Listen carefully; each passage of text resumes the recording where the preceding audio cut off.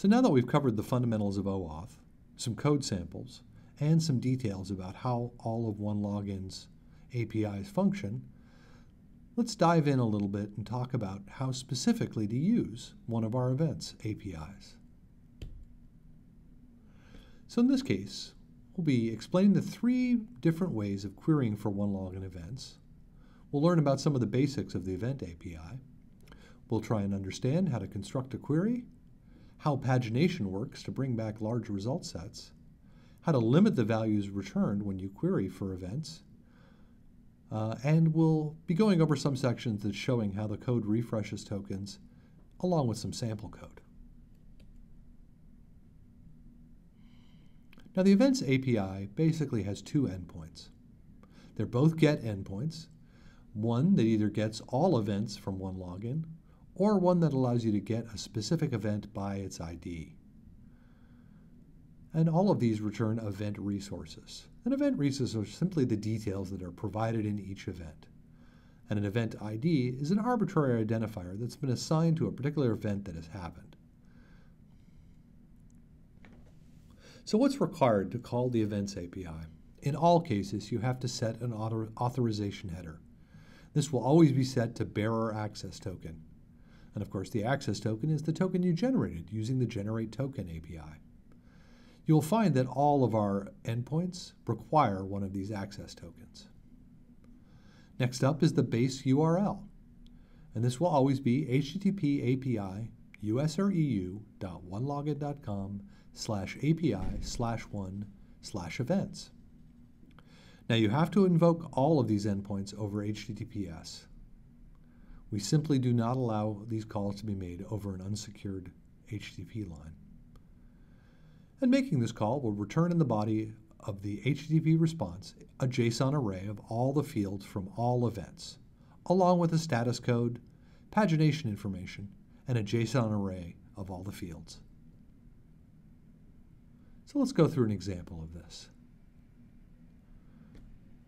First and foremost, you'll always get the status codes returned in a JSON status object. Next up, you'll get pagination information, and I'll talk a little bit more about this in a minute. And then finally, the actual data, and in this case will be a JSON array of all fields from all events. And you'll note at the top of each of these events is an ID, and we'll get into some details on that in a bit. So what do status codes look like? Well, if the credentials were accepted, a successful call is made. In this case, it returns a 200 code with the error set to false. Now, if you have bad or expired credentials, you'll get a 401, type unauthorized authentication failure.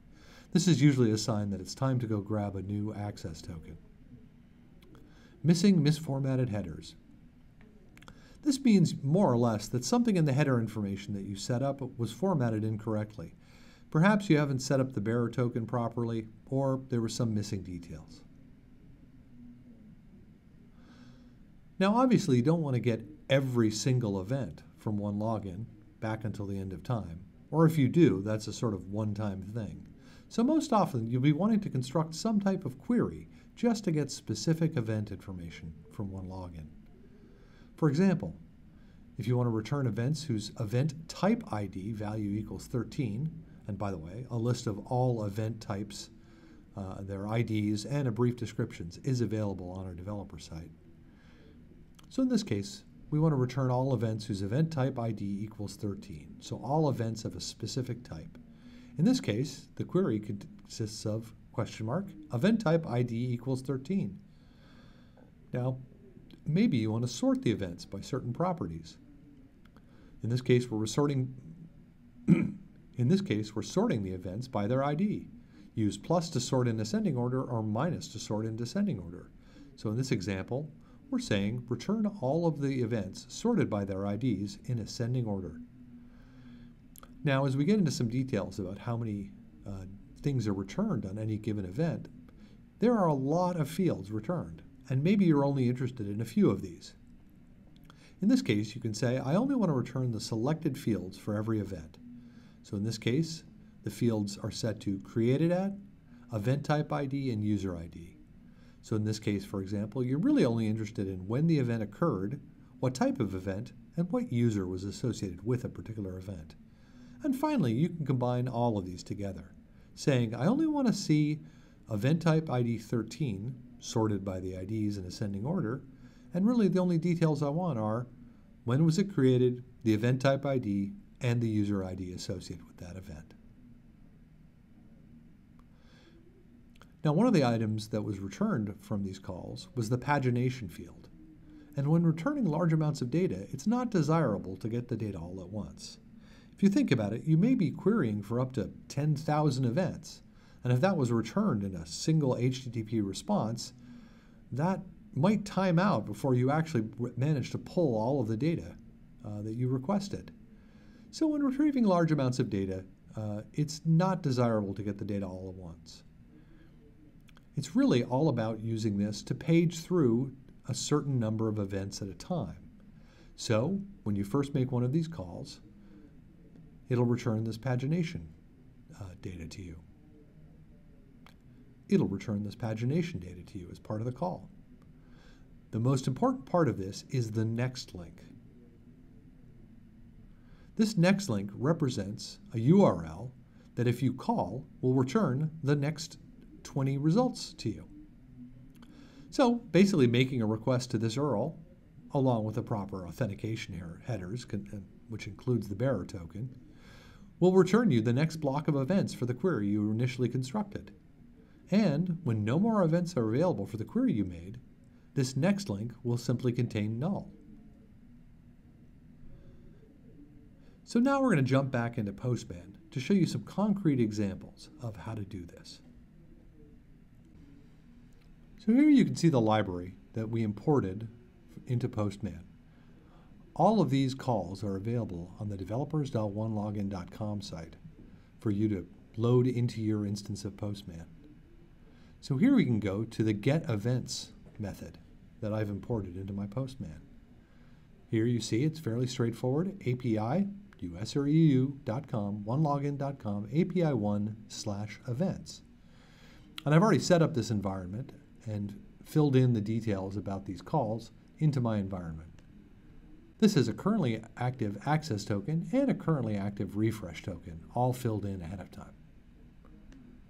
So now that I've done that, I'll take a look at my headers, and lo and behold, you see the authorization is set to bearer access token, so I'm good to go. And at this point, this returns, well, all events from the very beginning of time from my OneLogin instance. If we look at some of the dates here, these date back to 2015. As you might imagine, there are quite a few events in this system. As I scroll through these, you'll see that eventually it's returned probably about 50 events. So what if I do, in fact, want to retrieve more events? One of the things you'll note here is in the pagination part of the response, there is a next link. And if I were to take this next link and just copy it like so,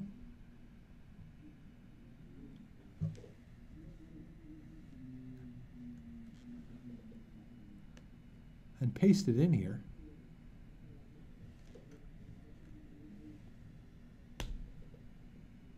lo and behold, this now returns another page worth of data.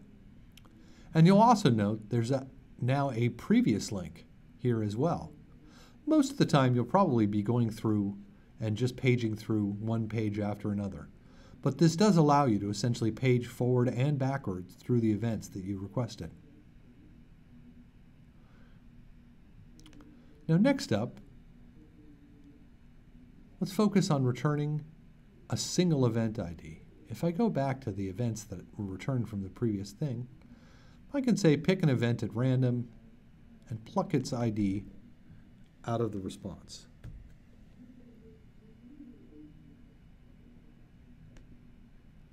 If I now include that ID as part of this request,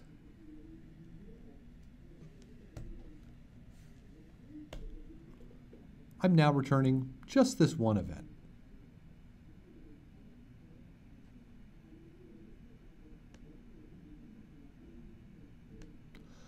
Another thing I can do is when I look at these events, I notice that a lot of details are being returned.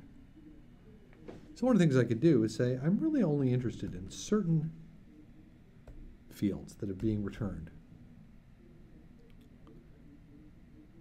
In this case, user ID,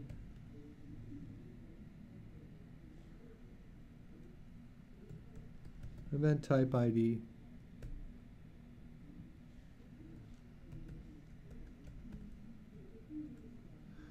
and the date.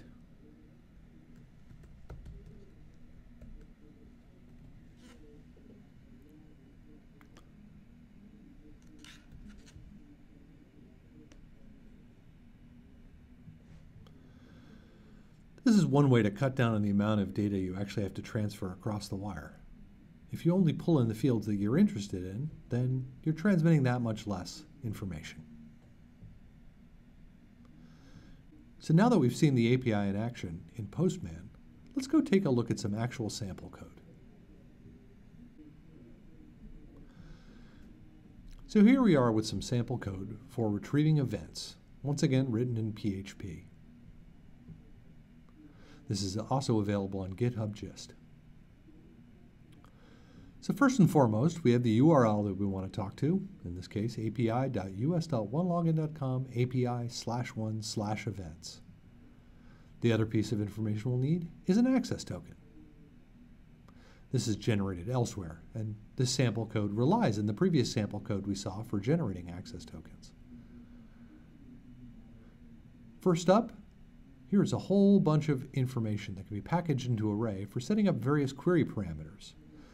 For example, since, until, how much information you want to return, certain fields, etc. First, it constructs the query out of the array of various things. Next, it sets the uh, authorization header to be a bearer access token, just as all of our other APIs require. Finally, it constructs the curl query. This is a get type operation. And as always, there's the authorization header. Once the options are set, it simply ex executes the query. As always, we look for was an error message returned as part of the request. It also makes sure that, in fact, some data was returned. It is possible to construct a query against our Events API that doesn't return any data. In this case, it would not return an error message. It would say that the call succeeded with a 200. But when it came to looking at the actual data, there might be none. So here we make sure that the, the array that's returned isn't empty.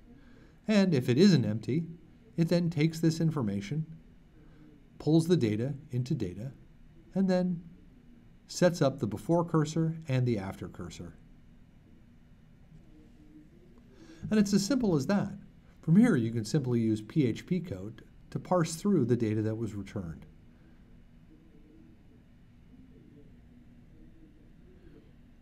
Here we see very similar code, except in this case, rather than querying for various events, in this case, it's really only interested in pulling the details from one particular event. So in this case, we set up what the event ID is that we want to return. There's a little bit of error checking to make sure the ID parameter isn't empty. It adds slash and then the ID that was passed in. Once again, we make the request. We, as always, look for an error message. And in this case, this does not return an array. This simply returns a single event. So in this case, we simply parse the JSON data for one event object and then print it out. And it's as simple as that. So next up, we'll go in and talk a little bit about the Users API.